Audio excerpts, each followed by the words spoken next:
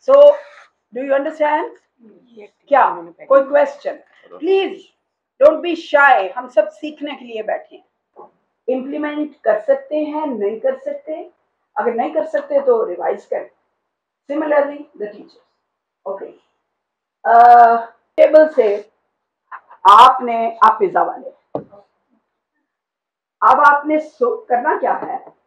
कि हमने keeping in mind speaking skill और लिसनिंग स्किल इस बुक का चैप्टर आप सेकंड पढ़ाया है तो क्या इसका मकसद रीडिंग था? क्या इसका मकसद एक्सरसाइज हल करना था? क्या इसका मकसद जस्ट यही था कि प्लानर में आज पेज नंबर 68 का यहाँ से यहाँ तक और ये यहाँ से यहाँ तक तो रिटर्न वर्क ये तो ये।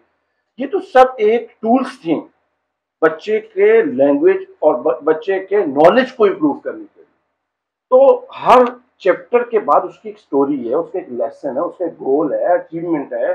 उसकी तरफ़ फोकस करें कि मेरे बच्चे में आज नई चीज़ क्या आई।